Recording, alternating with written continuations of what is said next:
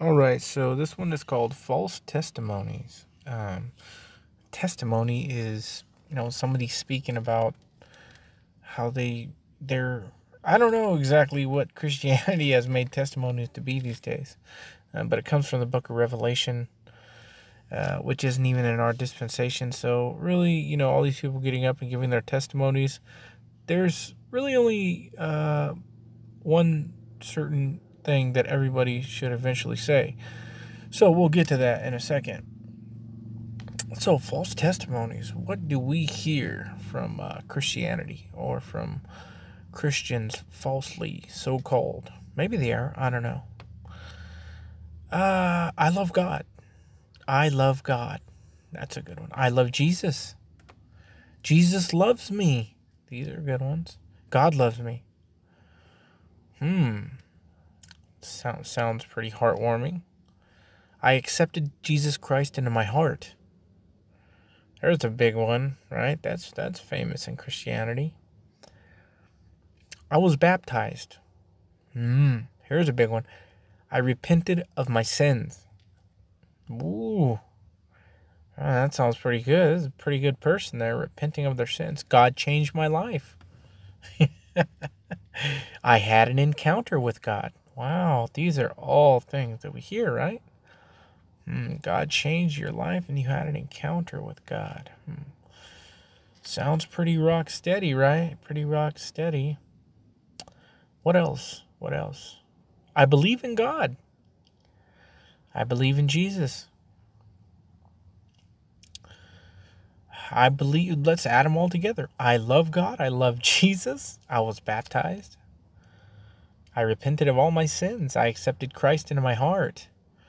I believe in God.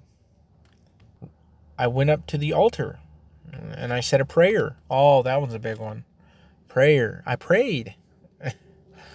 I prayed, so I'm saved. Oh, how about I go to church every Sunday? I go to church twice a week. Ah, uh, those are some good ones. I con- I confessed my sins. That's another big one. I confessed my sins. I go to church, right? I took the sacraments. I tithed. I tithed. These are all really, really common things we hear, right? I tithe 10%. I, you know, I you can go on and on and on about stuff like this.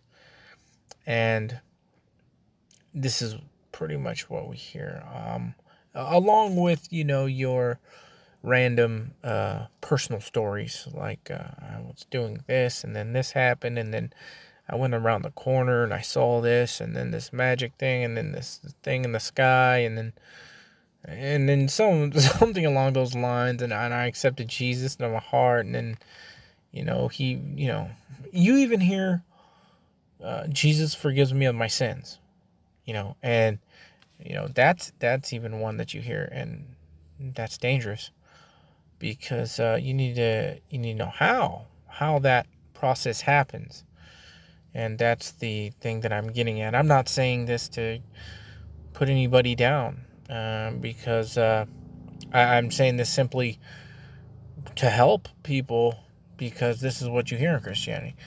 So let's take a look at how you are forgiven of your sins how you're saved what is the gospel of salvation the word of truth that saves you.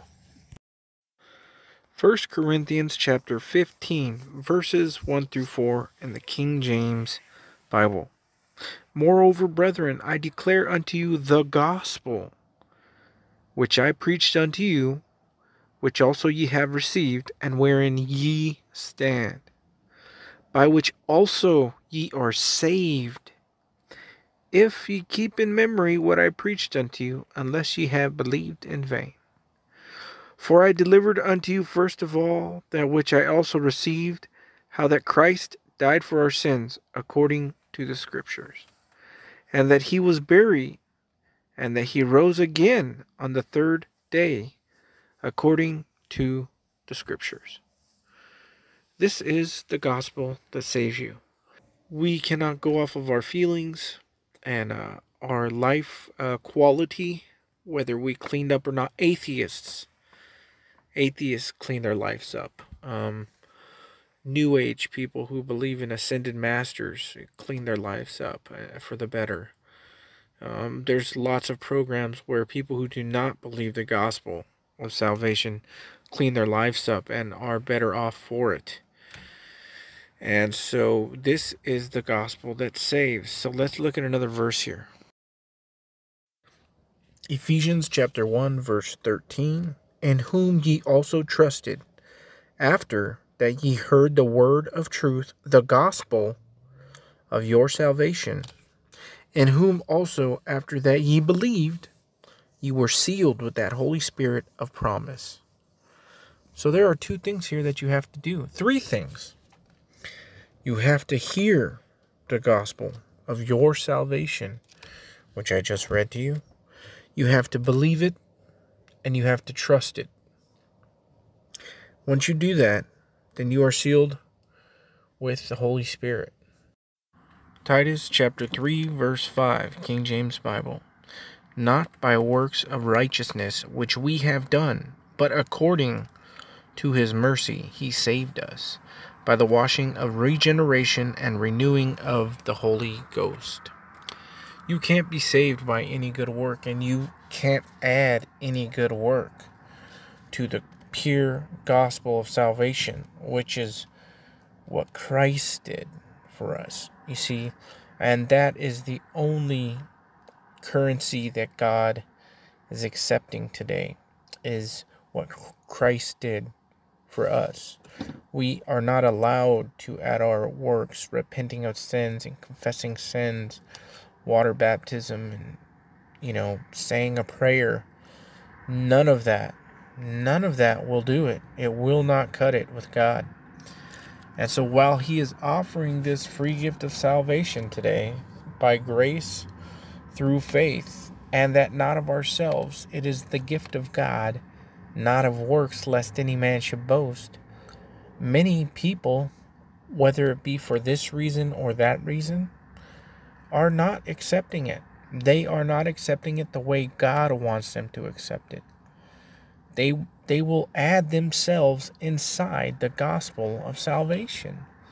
They'll say, I know about what Jesus did for me, you know, but I also have to do this, or I also got to do this, and I, uh, but I can't do this. And it's like, when you try to tell people, look, no, that's wrong.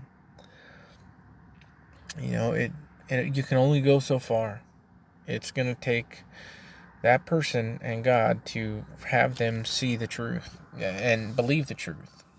And unfortunately, I think, in my personal opinion, that a lot of these um, people that are doing this, uh, that have been raised up in these American churches, uh, they will be left behind in the rapture, and they will then have to go through that and deal with that and endure till the end and uh, refuse the mark of the beast uh, simply because they refused in their heart to believe and accept the gospel of grace, how God wanted them to accept it as the free gift of grace through what Jesus Christ did for us, not what we do for God, because none are righteous, no, not one. For all have sinned and come short of the glory of God. When you don't accept, when you don't accept the free gift of salvation like this, you're saying to God, hey, you know what, Jesus Christ, what he did for me, that's not good enough for my sins. I've got to give you something in return. That's exactly what you're literally spitting in the face of God when you turn down the gospel of grace, this, the word of truth. Even when you say, I need to prove that I deserve that. That's not what God wants either. God wants you to know that you can't deserve that. You'll never be good enough to deserve what He's offering you. That's how He wants you to see it. He wants you to see yourself for what you are as a sinner. And what you are is just a man or a woman who does not have anything to offer God for salvation, for forgiveness of sins. Nothing. But if you listen to somebody like Todd White, he'll tell you the exact opposite.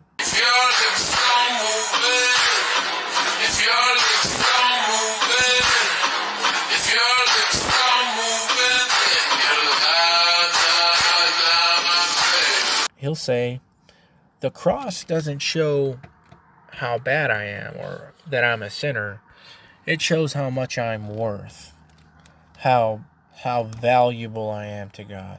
The value was placed on my life was determined by the cost that was paid for me.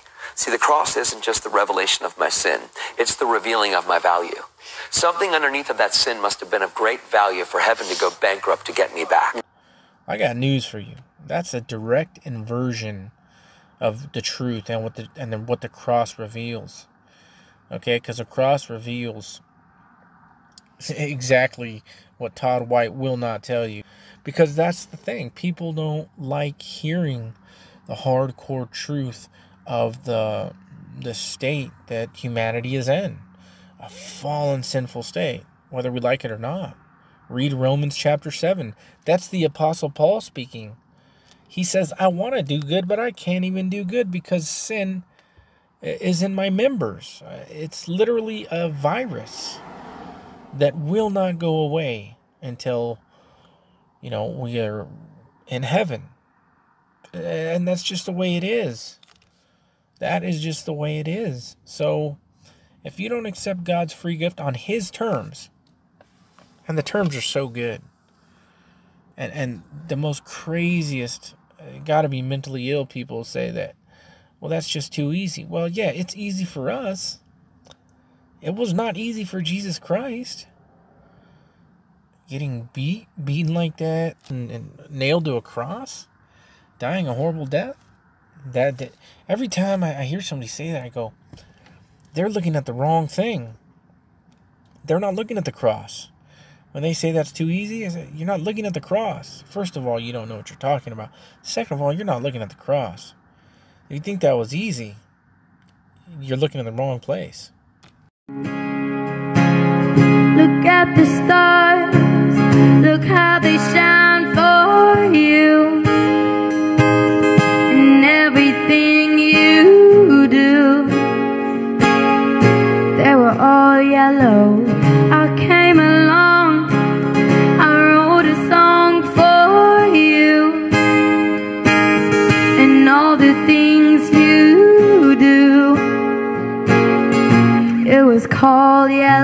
yellow.